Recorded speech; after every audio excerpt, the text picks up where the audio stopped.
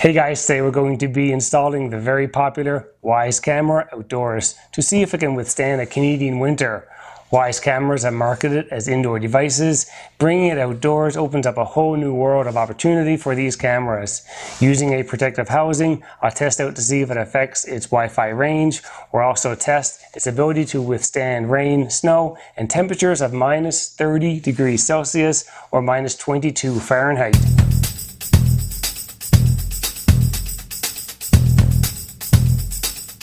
For my outdoor testing today, we'll be dressing up the WyzeCam version 2 in a very special protective outdoor coat. These housings are available on Amazon for about $12 US, which is just under half the cost of a new camera. The purpose of the cover is not to make the camera completely waterproof or bulletproof, but rather to divert rain and snow away from the openings, which could cause internal damage. It's best to install the camera in a tucked away area, like in a greenhouse, under an eave or a door frame. The case will significantly help lower the risk of a surprise camera failure or lost footage when it's installed outdoors exposed to the elements. I also bought the Wyze camera on Amazon and links for everything seen here today are in the description below.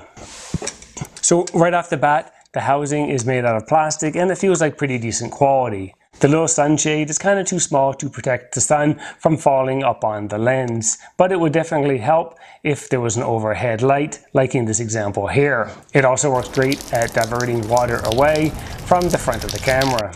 The mount does twist and swivel so you can install it in the desired direction.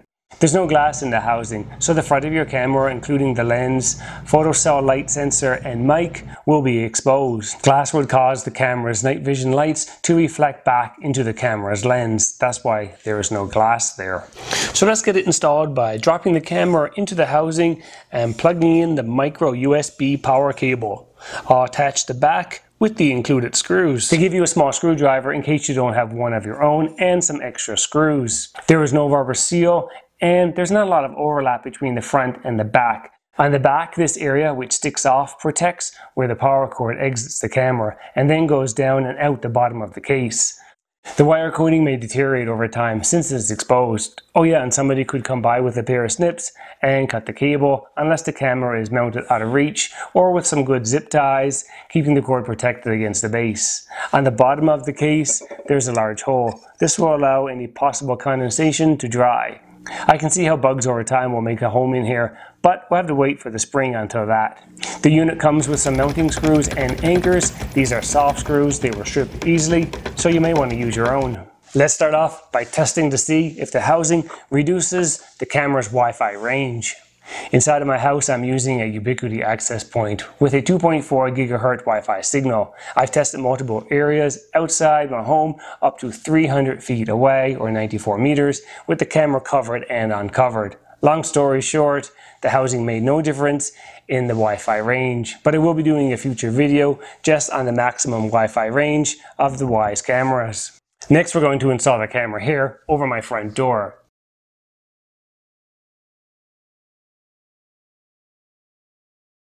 If this was a permanent location, I'd need to route the power cable through the soffit or down the siding and then into my house.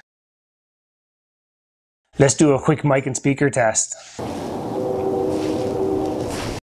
Alright guys, so you can obviously hear Alright guys, so you can obviously hear the train in the background.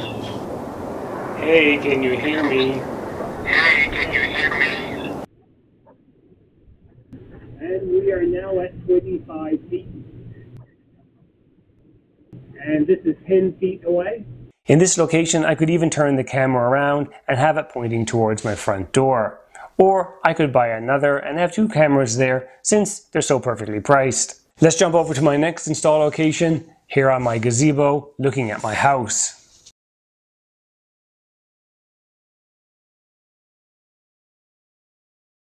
Just an awesome picture. Before going any further, let's check out some time-lapse footage. Since it rarely rains here in the winter, I'm going to do a water test, but with the help of my garden hose. And today it's above freezing, so I shouldn't have any trouble getting the water through. After about a minute of some aggressive water hosing, the camera still works, but I'm actually surprised I didn't damage the exposed mic or photocell with that much water force. A few drips of water have entered, but there's no signs of water around the speaker or power cord area. Before exposing the cameras to those frigid temperatures we have outside right now, let's bring out the thermal imager.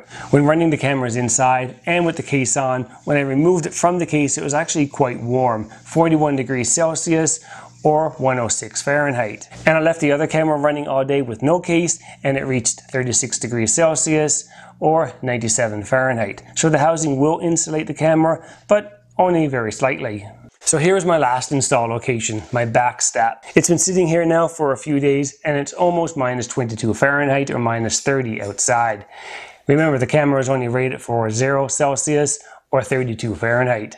The thermal camera actually stops giving temperatures at minus 30. It was minus 30 and below all week and the Wyze Cam performed beautifully.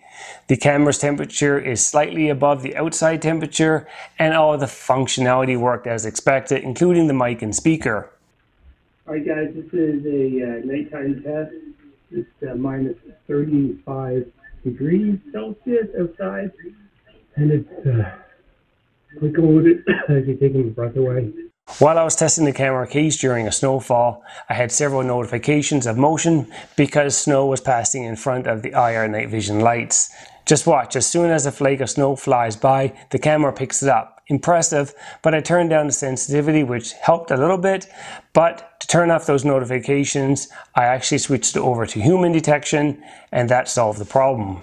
So back here in the studio, let's do a speaker test in the controlled sound environment to see if the housing impacts the speaker quality. Here's a sample of the sound with the cover off. This is the sound quality with the cover off. And here's a sample with the cover on.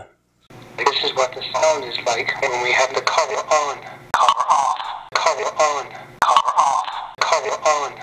So in conclusion, the Wyze cameras continue to amaze me given their price point. The protective housing did not interfere with the Wi-Fi range and was able to help guard against the elements. We found that the Wyze cameras can operate in frigid temperatures with no issues.